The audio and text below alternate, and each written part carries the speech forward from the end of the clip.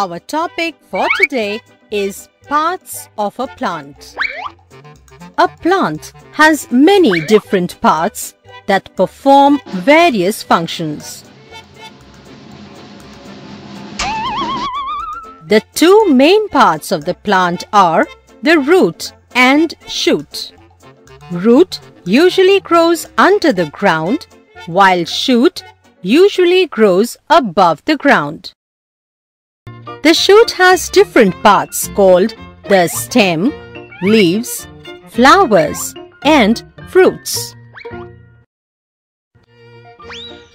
The stem is the stalk of the plant. It helps the plant to stand upright.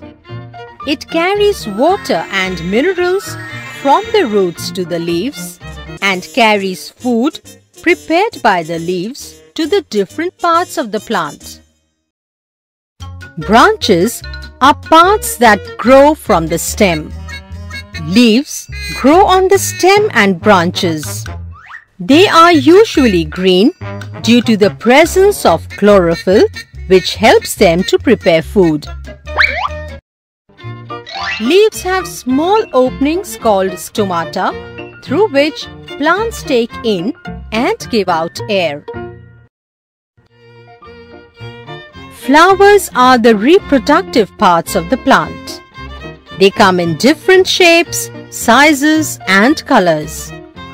By the process of pollination, many flowers develop into delicious fruits which are eaten by us.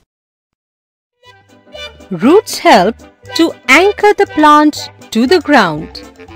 They absorb the water and minerals required for the growth of the plant.